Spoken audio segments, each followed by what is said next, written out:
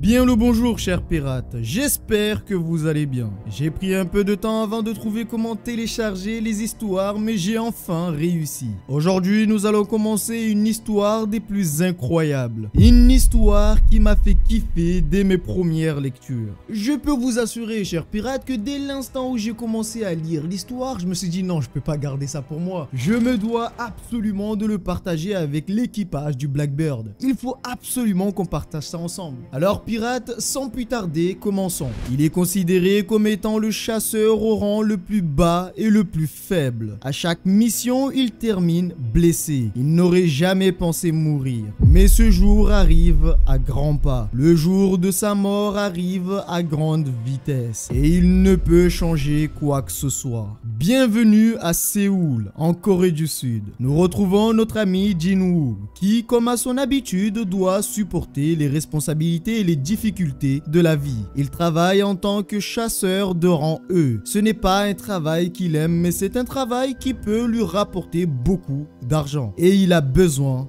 d'argent. Dans un chantier de construction à Séoul se trouve un portail. Les chasseurs se sont regroupés ce jour-là pour faire un raid, afin d'affronter les monstres du donjon et pouvoir avoir un maximum d'argent. Et notre ami Jinwoo est plutôt réputé dans le milieu. Étant le plus nul et le plus faible n'ayant jamais existé, au lieu de passer discret, en fait tout le monde le connaît. Il est connu comme étant le plus nul des rangs E. Absolument tout le monde le connaît et n'hésite pas à se moquer de lui. Les autres chasseurs pensent que s'il réussit une mission, alors ils devraient tous le faire. Car cela voudrait dire que le raid doit être vraiment très facile. Et il ne faut pas oublier que à chaque raid, qu'il soit facile ou non, il finit blessé. Et gravement blessé en plus. Malgré ses efforts, ça ne change absolument rien. Il est le plus nul et ne peut le changer. Il est le plus faible et il le sait et l'accepte. Il ne peut rien y faire. La seule personne qui fait attention à lui est Dewey. C'est la seule qui le traite de façon normale et qui s'inquiète vraiment pour lui. Pas besoin de suspense, elle a des sentiments pour lui. Ah, je vous épargne le petit truc. Oh, mais alors du coup, qu'est-ce qu'elle pense de lui? Peut-être qu'elle est amoureuse de lui, non? Non les gars, elle est amoureuse de lui. Point barre. Voilà, moi je casse les suspens ici. Il est temps de commencer le raid. Monsieur Sang se propose de diriger le raid et de prendre les commandes. Étant donné que celui le plus fort, tout le monde est d'accord avec lui et lui fait confiance. Ses statistiques et précédents raids ont été un succès. C'est le candidat idéal pour prendre les commandes et pour diriger l'équipe. De plus, avec ses statistiques et son expérience, il devrait garder tout le monde en vie. Enfin bon, normalement. Un des hommes demande à Jinwoo de ne pas se blesser en se moquant de lui. Jinwoo se motive.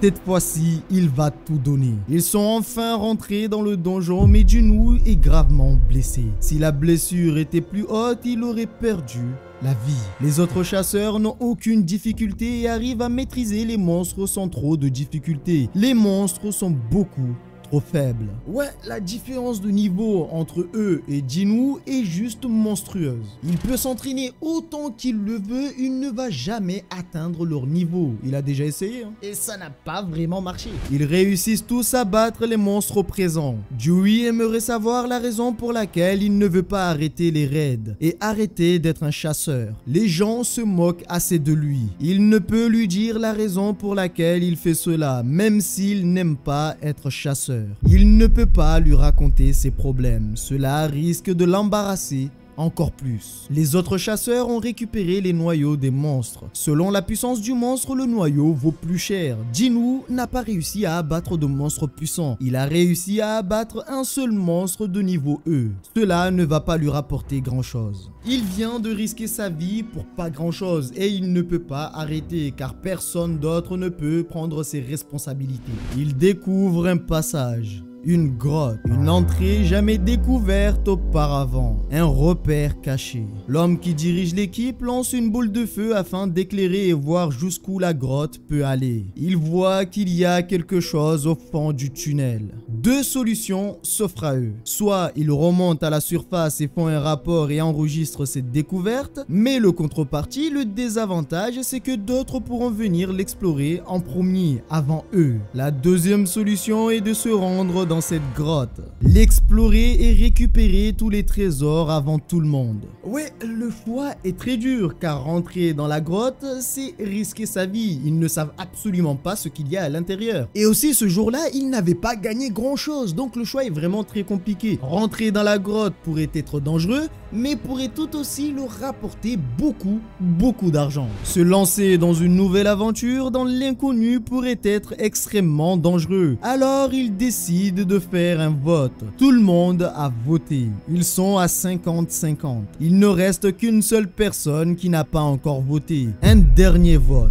Jin La décision finale lui revient. S'il vote oui, ils vont continuer et aller explorer cette grotte. S'il dit non, ils vont remonter, faire un rapport et la découverte sera annoncée à tout le monde. Ils perdront l'espoir de pouvoir gagner encore plus d'argent. Il sait qu'il n'a pas gagné beaucoup. Cela n'est pas assez pour les soins de sa mère à l'hôpital. Et sa sœur ne va pas tarder à rentrer au collège. Il lui faut plus d'argent. Là pour le coup, la vie n'est pas vraiment facile avec lui. Déjà pour commencer, il est faible. En plus, il doit s'occuper de sa mère qui est à l'hôpital. Et en plus de ça, il doit s'occuper de sa petite sœur qui rentre bientôt au collège. Alors sans oublier qu'il ne possède aucun autre talent, donc ne peut effectuer aucun autre travail à part celui-là. Ça fait beaucoup là, non? Il prend la décision de continuer. Il est d'accord pour découvrir ce nouveau repère. Peut-être qu'ils trouveront la richesse. Cela fait plusieurs minutes qu'il marche sans avoir trouver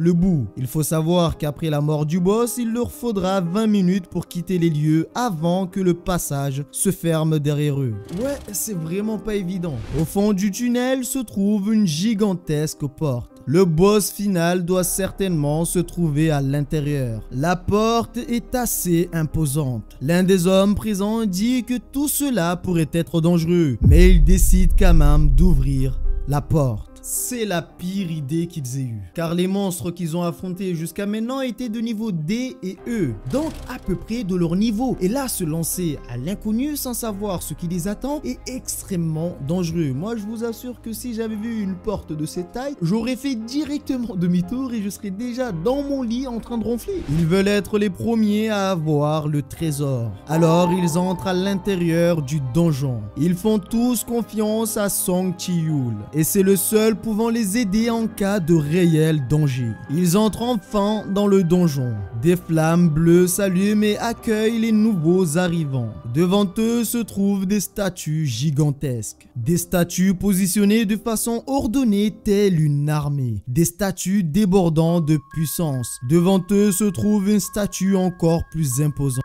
Une statue beaucoup grande. Entrés à l'intérieur, ils ont l'impression qu'ils sont observés, comme si les statues les observaient. Ce n'est que le début, car dans ce donjon, il y a des règles. Et ils ne sont pas dans n'importe quel donjon. Sur le visage de la statue, on voit des larmes. Des larmes de sang. Au milieu du donjon, on retrouve un seau magique. Un seau très ancien. Il découvre autre chose. Une statue en forme d'ange. Il retrouve de vieux écrits. Un texte runique. Ce sont les commandements. Les commandements du Seigneur. Premier commandement, tu vénéreras le Seigneur. Deuxième commandement, tu loueras le Seigneur. Dewey a remarqué que l'œil de la statue a bougé. Mais lorsque Jinu s'est retourné afin de voir cela, les yeux de la statue ont aussitôt repris leur place. Les choses commencent à devenir de plus en plus bizarres et les autres chasseurs n'ont absolument rien remarqué. Troisième commandement, tu prouveras ta foi. Encore une fois, l'œil de la statue a encore bougé. Jinwoo sent que l'atmosphère a complètement changé. Tout est devenu silencieux. Ceux qui ne respecteront pas ces commandements ne ressortiront jamais d'ici vivant. Bon là, il y a anguille sous roche. Rien de bon ne va arriver. Quelque chose d'étrange se passe. Soudain, les portes du donjon se referment, les enfermant à l'intérieur du donjon. L'un des hommes en a marre, alors il décide de partir. Il prend la décision de sortir du donjon par la porte. Au moment d'ouvrir la porte, Song Chi-yu lui crie dessus et lui dit d'arrêter. Mais il est trop tard. Il ne peut plus rien faire. Il a désobéi. La mort est la seule chose qu'il mérite. L'un des statues a bougé et lui a tranché la tête. Aussitôt lui avoir tranché la tête, elle s'est remise en position. Elle s'est positionnée au même endroit où elle était. Est-ce qu'ils sont foutus? Oui mon pote, ils sont dans une sacrée merde. Déjà il faut savoir pirate que le mec qui vient de se faire dégommer était de rang D. Et la majorité des chasseurs qui sont présents ne sont pas aussi forts que le mec qui vient de se faire dégommer. Pour vous dire à quel point la statue est balèze. Il s'est fait éliminer sans la moindre difficulté, sans le moindre problème. Ils sont tous terrifiés car ils viennent de se rendre compte de leur erreur. Rentrer dans ce donjon n'était pas une bonne idée. La statue a encore bougé. Jinwoo se retourne et voit les yeux de la statue. La statue l'observe sans détourner le regard. Il se rend compte que cette fois-ci, la statue ne fait plus semblant. Il a toujours été face à la mort. Rappelez-vous, pirate, à chaque fois qu'il se bat, il termine toujours blessé. Même s'il se bat avec des créatures pas très puissantes, il termine blessé et des fois à moitié mort. La mort est son quotidien. Il termine toujours dans un sale état et à l'hôpital. Mais il n'a pas le choix. Il fait tout cela pour l'argent, pour sa pauvre mère qui est hospitalisée. Les gens se moquent de lui car c'est le plus faible. Chaque mission est un désastre pour lui. Mais il s'est habitué il s'est habitué à leur moquerie. Chaque mission est une épreuve pour lui. Il doit tenir bon pour sa mère. En voyant les yeux de la statue, il a compris. Il a vu le regard de la mort. Alors il crie et donne l'alerte à tout le monde. Il leur dit de se baisser vite. Les autres se retournent mais il est trop tard. La statue lance une énergie destructrice qui élimine tous ceux qui ne l'ont pas écouté. Tous ceux qui ne se sont pas baissés. La statue n'a pas encore bougé. Et pourtant, une partie du donjon est détruite. Certains sont évanouis à cause du choc émotionnel. Beaucoup sont morts et ce n'est que le début, ce n'est que le commencement. Alors le chef demande aux autres de ne pas bouger. Ils doivent rester à terre, sinon ils vont tous mourir. Ce donjon n'est pas normal. Ce donjon n'est pas de rang D. C'est un donjon bien au-dessus. Ce donjon pourrait être de rang S. Et personne dans leur groupe peut neutraliser ces statues. Ils n'ont pas la puissance pour le faire. Le chef aimerait savoir comment il a su qu'il allait Pour lui, c'est juste une intuition. Il a toujours été près de la mort. Il a vu la mort arriver. Pour sortir de là, ils doivent respecter les commandements. Et ceux qui ne respectent pas les commandements vont mourir. Jinwoo voit quelque chose qui le déstabilise. Le chef a perdu sa main gauche. S'il ne l'avait pas écouté, il serait mort comme ceux qui ne l'ont pas écouté. Premier commandement tu vénéreras le Seigneur. Deuxième commandement, tu loueras le Seigneur. Troisième commandement, tu prouveras ta foi. Ils en déduisent que le Seigneur doit être lui, la statue qui les a attaqués. Voilà pirates, c'est la fin de ce premier épisode. Alors je vous avoue que j'ai été vraiment content de pouvoir télécharger enfin les manois et les mangas. Je voulais commencer à raconter des histoires, mais malheureusement certains n'étaient pas en couleur et moi je trouve ça dérangeant que ce soit pas en couleur. Je fais déjà ce format là avec les comics et je trouve c'est beaucoup mieux avec couleur et faire sans couleur me dérangeait un peu. Alors j'ai préféré attendre de trouver une solution. J'ai enfin trouvé. Maintenant, je vais pouvoir vous faire plus de vidéos là-dessus. En espérant que la vidéo vous a plu, n'hésitez pas à donner votre avis, votre ressenti en commentaire. Prenez soin de vous et n'oubliez pas que nous sommes des pirates et rien ne peut nous arrêter. Même les commandements.